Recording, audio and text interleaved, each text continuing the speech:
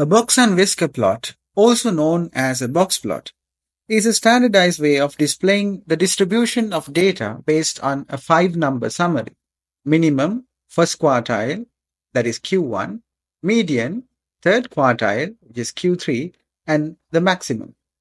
This plot is particularly useful for identifying outliers and understanding the spread and skewness of data. Components of the box and whisker plot includes the box, the median line, the whiskers, and the outliers.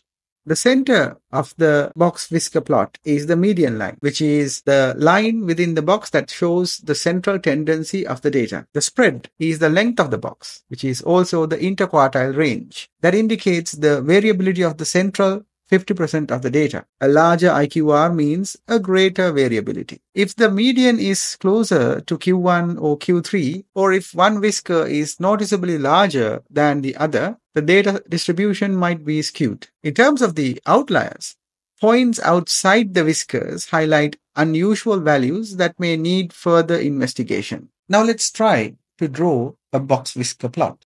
Take a look at the following dataset which contains 20 sample values from a cotton percentage example.